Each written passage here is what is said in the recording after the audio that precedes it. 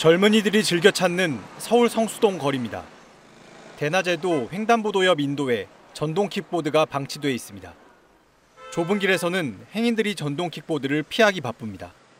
널브러져 있거나 사람들이 지나다니는데 아니면 차 지나다니는데 사고 많이 날 것 같아서 좀 많이 위험하기도 하고 걸리적거려서 불편하기는 하죠.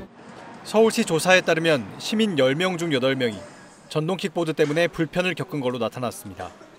응답자의 88%는 킥보드 통행 금지 구역을 지정하는 데 찬성했습니다. 프랑스 파리와 호주 멜버른은 아예 전동 킥보드 대여 사업을 금지한 상황. 서울시는 국내 최초로 킥보드가 들어올 수 없는 이른바 킥보드 없는 거리를 지정하기로 했습니다. 올해 안에 사고 위험이 큰 도로를 중심으로 시범 운영 지구를 설정할 계획입니다. 더 나아가 지자체가 민간 사업자들을 직접 지도 감독할 수 있도록 하는 법안도 추진 중입니다. 등록 요건에 맞는 업체만 등록 허가를 해서 지도 감독할 수 있도록 그런 법이 제일 간절합니다. 주차 공간을 따로 마련해 방치되는 일을 줄여야 한다는 지적도 나옵니다. 지자체 그리고 업계에서도 일부의 부담을 해야 되지 않을까라고 저는 판단을 하고요. 이용하는 사람들이 조금 불편하더라도 그 규정을 준수해주는 서울시는 또 전동 킥보드의 제한 속도를 현행 시속 25km에서 20km로 낮추는 법안도 추진 중이라고 밝혔습니다. KBS 뉴스 김민혁입니다.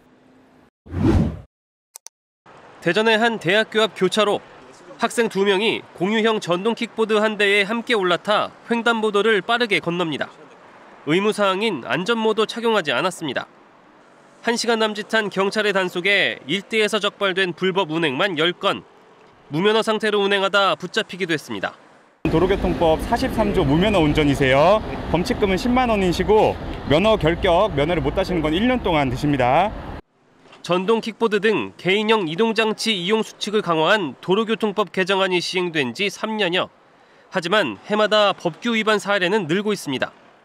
전국적으로 범칙금이나 과태료가 부과된 건이 2021년 7만 3천여 건에서 2년 만에 18만 8천여 건으로 뛰었고 관련 사고 역시 2019년 440여 건에서 지난해 2천여 건으로 급증하며 사망자도 3배로 늘었습니다. 지난달 대전에서는 안전모 없이 전동 킥보드 한 대를 함께 타던 10대 2명이 차에 치여 크게 다치기도 했습니다.